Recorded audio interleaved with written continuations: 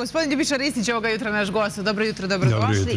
Kolega Marić je najsigurniji e, kad je pod video nadzorom. Tu nema onda dileme da li e, pravi neke nove stranke, mada vi ste se nekako poprilično oduprali, nekako uspjeli ste da pobegnete od činjenice da se vi kandidujete za nešto, da vi pokrenete neku stranku, ipak se vi dosta družite sa Marićem. on ima iskustva. Ne, mislila sam ovim sad, ovim Ma, Ja znam njega kad je mali došao iz Gornjeg Milanovca.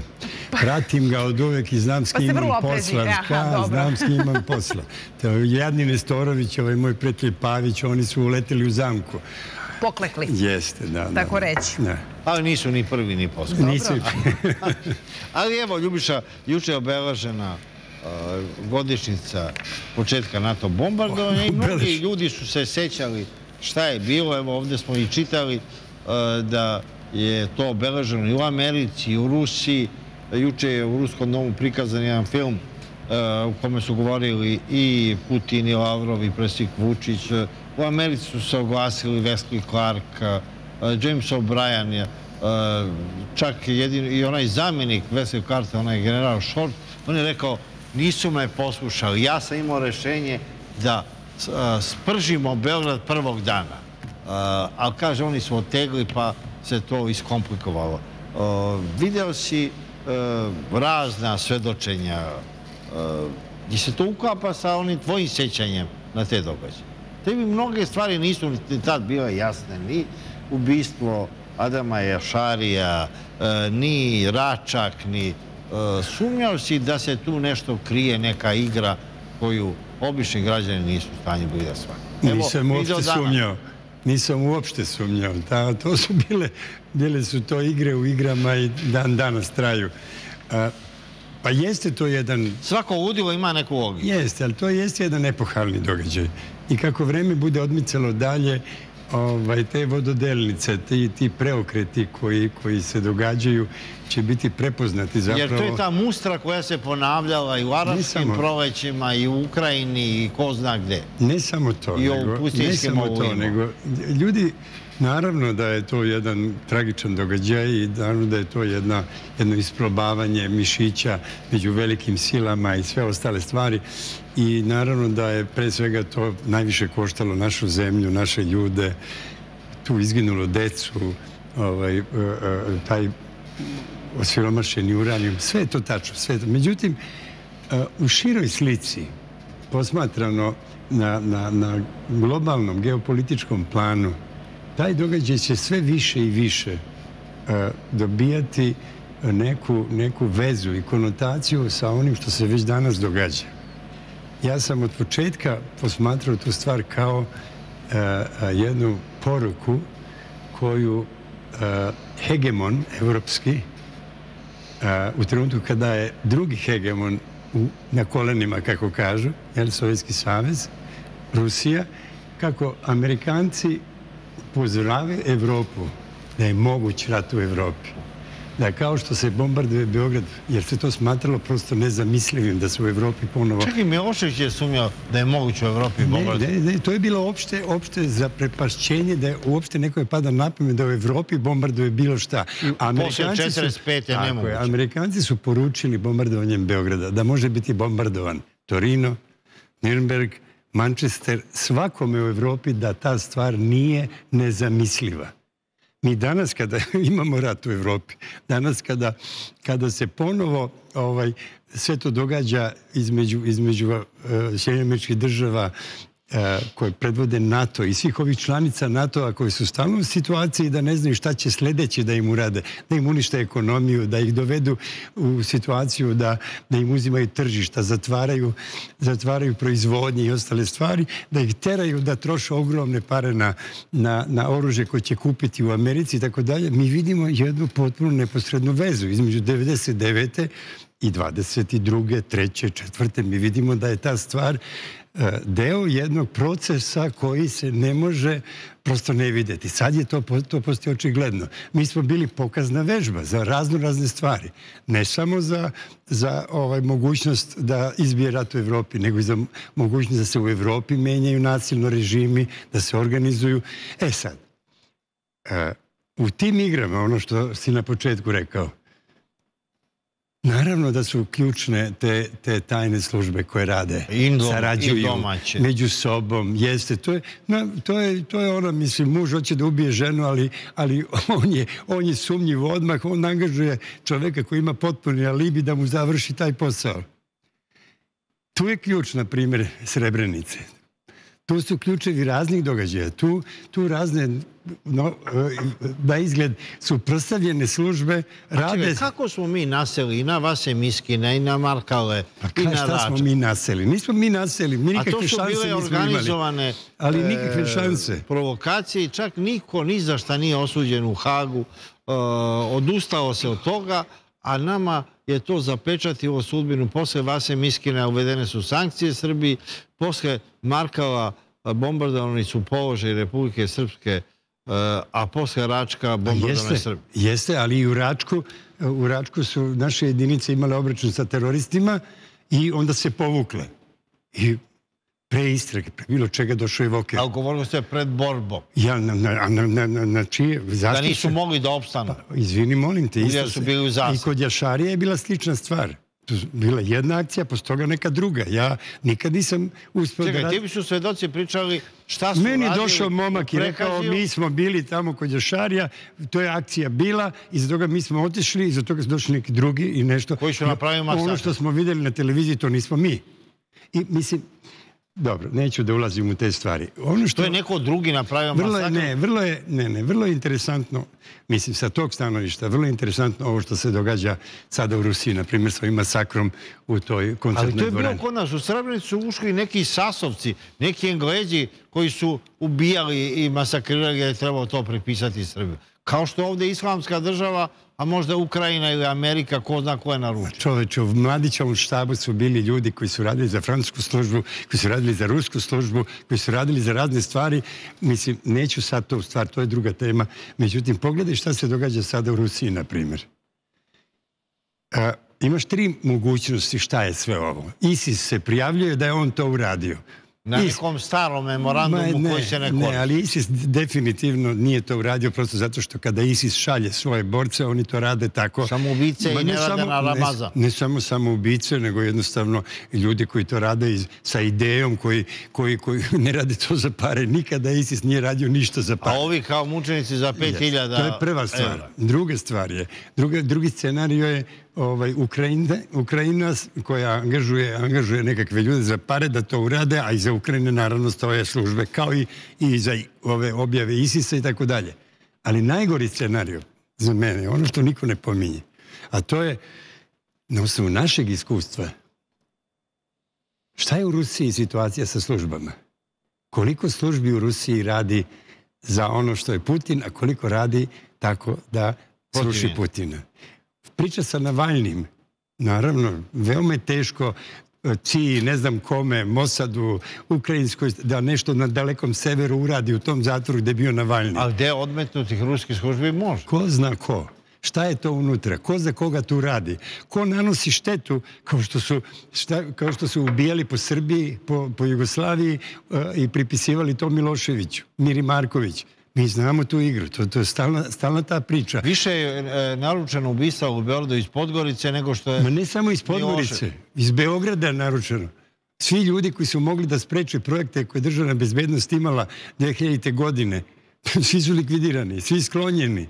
Svako ko je mogo da skupi deset naručenih ljudi da se suprostavi je sklonjen.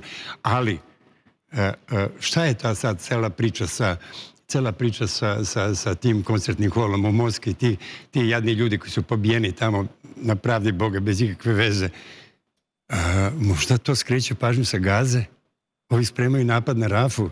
To su milioni ljudi tamo u izbjeglištvu. Tamo je užas koji se događa. Nešto treba na drugu stranu da se preba... Hoću da kažem, nikad to nije onako kako izgleda. Uvijek postoji pozadi ta igra koju si spomenuo na početku.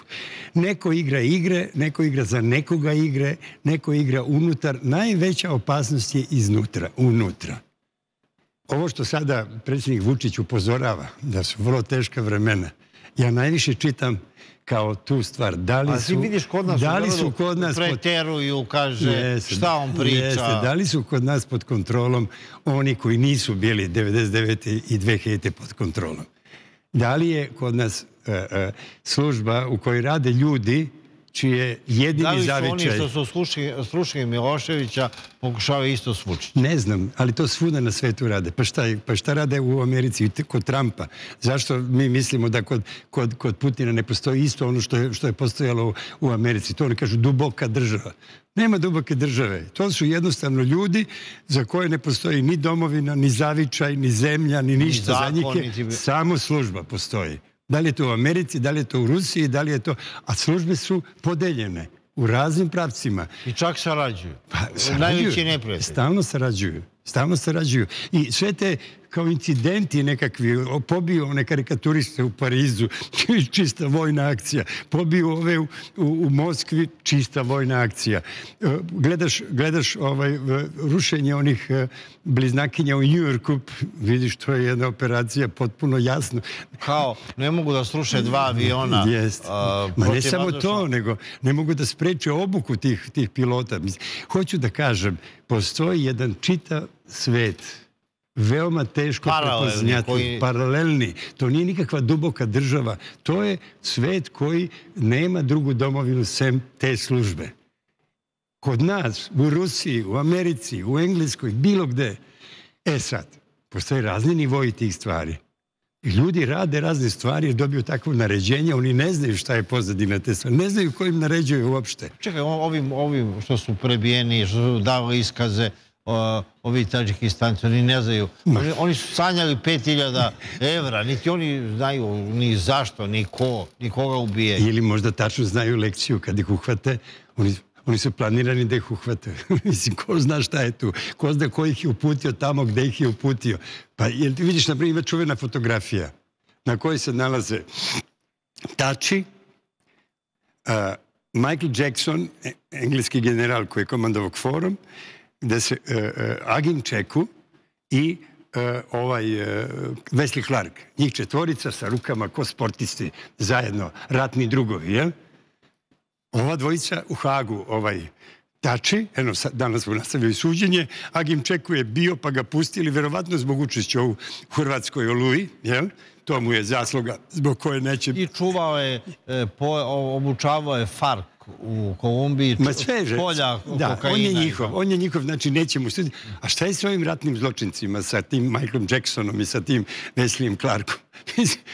Nije, Wesley Clark se obogatio, dobije rudnike uglja, ovo, cink. Da. Malin Albright pokojna dobila je telefoniju. Svako se ugradi. Dobro, ali to je, ali to je ono, to je, to je kolateralno. To nije ključno. Ključno je to što su oni dobili dobili teritoriju u Evropi gdje imaju svoju vojsku, gdje imaju svoj aerodrom, gdje imaju šta im treba, imaju potpunu kontrolu i ako, treba oni će i, sutra i Kurtija da sklone, dovešće trećeg, petog, sedmog. Mislim, njima je samo važno da imaju nogu u vratima Evrope koja ne može više zatvori, zatvori, zatvori vrata i sad će oni da se, da ovaj, sa nama igraju kao što se, kao što se igraju tokom stotina godina hegemoni koji pokušavaju da budu hegemoni u jugoistočnoj Evropi. Da li je to Vizantija, da li, to, da li je to Osmansko carstvo, da li su to Francuzi, Englezi, da li je to pokušaj Amerikanaca početkom 20. veka da, da dođu kao evropska sila predominantna ovde, da bi preko jugoistoka to uradili, mešaju se u prvi svjetski rat kad je Nemačka došla na Balkan, mešaju se u drugi svjetski rat kad je Nemačka napala jugoistok. Mislim, nisu Amerikanci ušli u rat kada, kada je okupirana Poljska, Francuska, kada je Engleska bila u ratu. Ne. Oni su došli uvek u, u, u svjetski rat i napravili evropski rat svjetskim ratom kada su Nemci stigli na jugoistok. Ali Ljubiša, ti znaš da su Dubrovčani imali najbolju obaveštajnu službu. Ne, ne, ne, ne. ne. Jezuiti su imali bolju. Ali možda i ovaj jezuita. Pa jest. Iz Dubrovnika. Pa jest. Pročitao sam u Dubrovačkom arhivu izvešta jednog kapetana pomorca Doručana, da. koji je u sred građanskog rata u Americi. Tamo u? sred, u sred građanskog rata u Americi, u Americi. sredinom 19. stoljeća.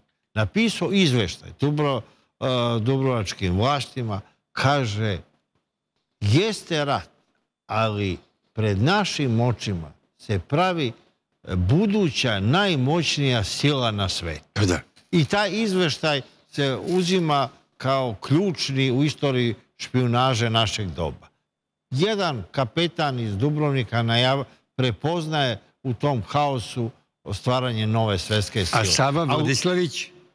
A njegov izvještaj, izvještaj e, Petru Velikom i Katarini o, Kini, granice koje je uspostavio, sedenje u Pekingu na dvoru imperatora tolike mesece i pregovori od, mislim, e, danas, danas kad je Putin dao to mi je pričao pokojni Vlada Davidović, onaj koji je objavio, objavio ovaj, njegov... Vladi, Vladi Saviću. Jesi, ne, celu, celu, celu njegov izvještaj u, u prevodu. U Kako je napravio rusko-kinesku granicu. I kaže, kaže, Vlada mi je pričao, kaže, kad je, kad je u, u Moskvi Putin sakupio akademike, generale, sve ljude, eksperti svih oblasti i rekao im hitno nam treba potpuni jasni izveštaj o Kini. Šta, kako, kakva je politika, istorija te politike, šta treba u budući, na koji način.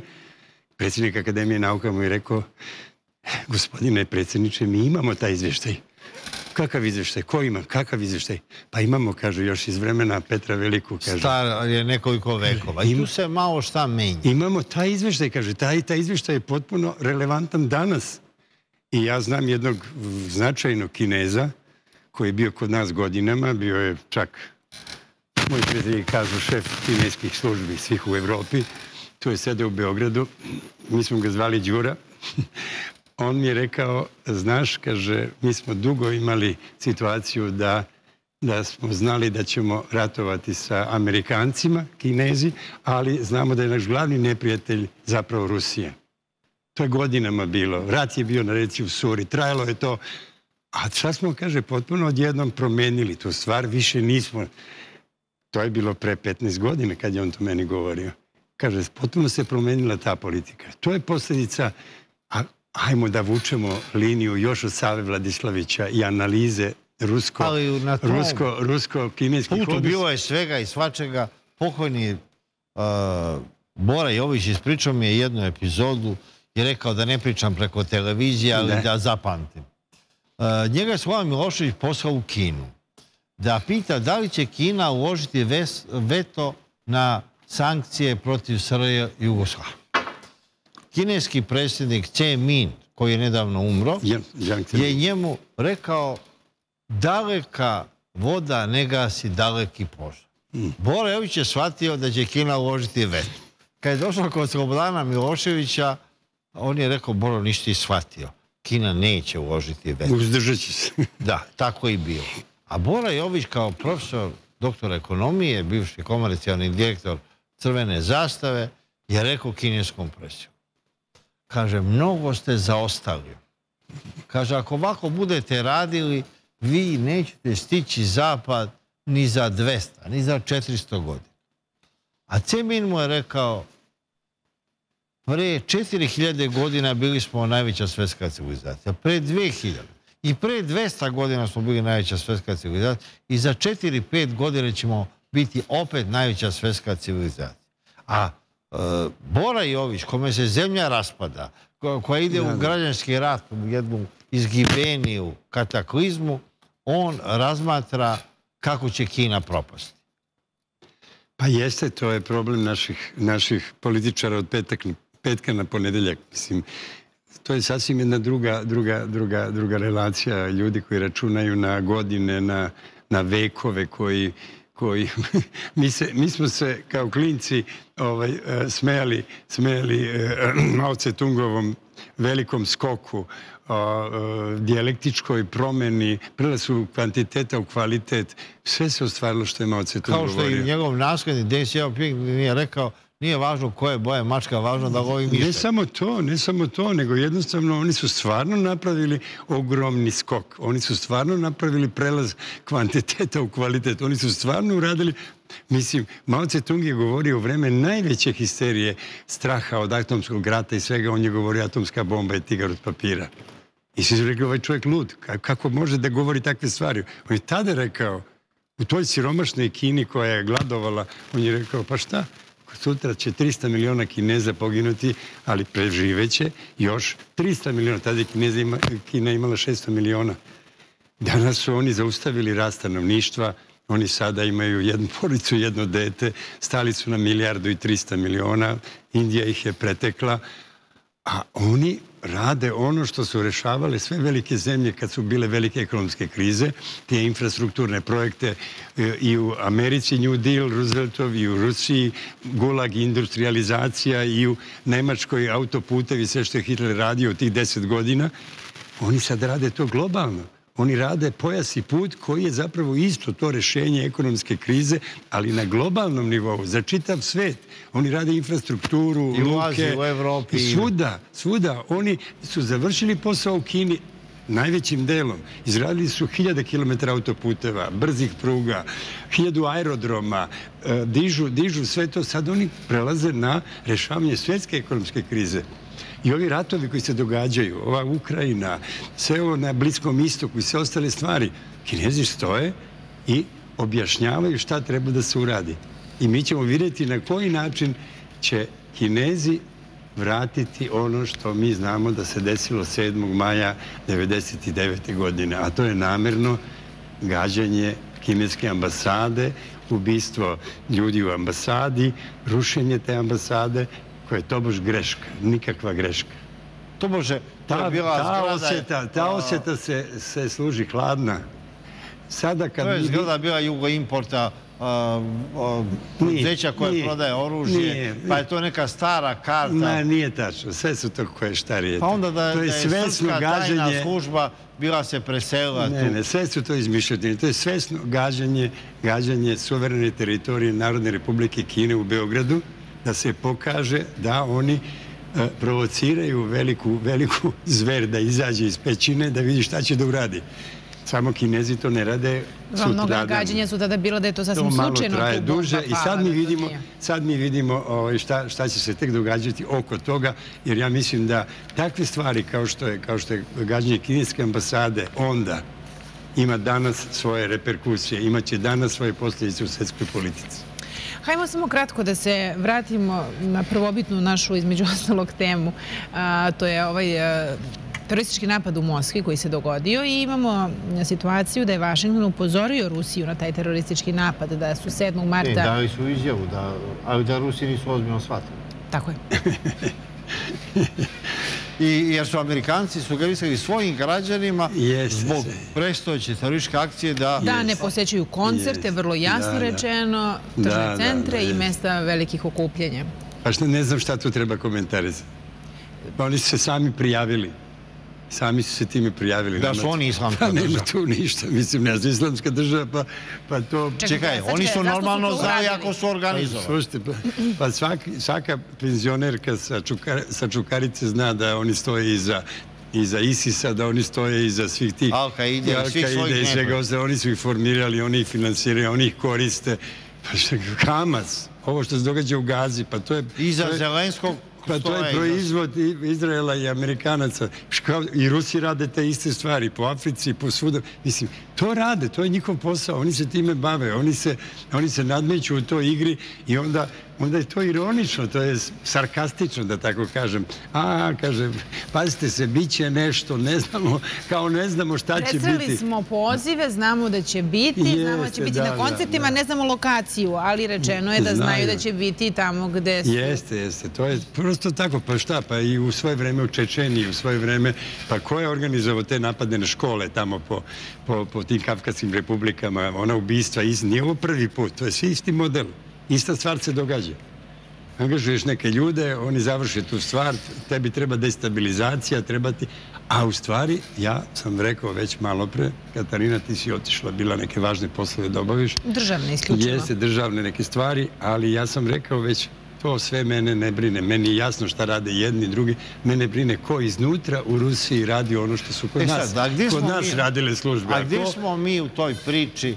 Jedan pot je ovdje bila proba svih tih globalnih događaja, a da li se e, ta globalna priča e, paralelnog sveta vraća u Srbiju? E, ono što je važno da naši istoričari, geopolitičari, analitičari, ljudi koji, koji se bave time profesionalno za razliku od nas amatera koji to posmatramo, jel kao neku predstavu i tako dalje. Oni moraju da, da, da, da tu stvar e, procene sa stanovišta e, jasne analize šta je svetsko-istorijska pozicija Srbije u ovom trenutku. U vreme o kojoj mi pričamo, pre 25 godina, pre 30 godina, u vreme posle Titove smrti, svetsko-istorijska pozicija Jugoslavije, pa zatim Savezne republike Jugoslavije, pa zatim Srbije je bila pozicija koju su odredile velike sile, a to je pozicija parije. To je svetsko-istorijska pozicija izgnanika iz svetskog sistema, nekoga koga treba razoriti, uništiti, napraviti od njega, napraviti od njega ovaj, e, e, žrtvu jednog, jednog modela koji će se sprovoditi na njemu, to isprobati. To je bila svetsko-istorijska pozicija, kad kažem svetsko-istorijska pozicija, mislim e, pozicija unutar istorije sveta. U tom trenutku to je bila naša tačka. Pozicija parije, pozicija nekoga ko, ko se izbacuje iz velike igre, u koje pre toga Jugoslavija a Milošević je satanizovan da je ne, sve to, ma sve, to, sve, su to, sve su to usputne stvari. A suština je da se zemlja stavi u poziciju da ona ne može ništa da uradi protiv onoga što je planirano da se sa njom desi. I na kraju o, 25 da bude godina kasnije, da bude jeste, uništena. 25 godina kasnije Raskoma, mi imamo drugačiju svetsku istorijsku poziciju sada naše zemlje Srbije. Mi sad odjednom vidimo da i Amerikanci, i Rusi, i Evropa, paradoksalno, svi zainteresovani da ovde bude udočujući faktor i odjednom svi se slažu samo oko jedne stvari na svetu, a to je Srbija. Tobož, tobož prave probleme na Kosovu, nadmeću se jedni s drugima, ko će to da kontroliše, a zapravo potvrđuju osnovnu politiku ove zemlje, a to je da se sa svima razgovara, da se svima radi, da se nikome ne prikloni potpuno i da jednostavno svakome omogući da ovde ima uticaj do mere u koje neće ugrožavati nezavisnost zemlje. To se zove aktivna miroljubiva koegzistencija. To je ono što Srbija danas pa, iz svoje svetsko-istorijske pozicije predlaže ostatku sveta organizujte se svi na način da tolerišete jedni druge, svako svoje interese, ali niko ne sme jednostavno da stvari dotera do ivice, da se, da se poremeti stvarni svetski mir. Hvala.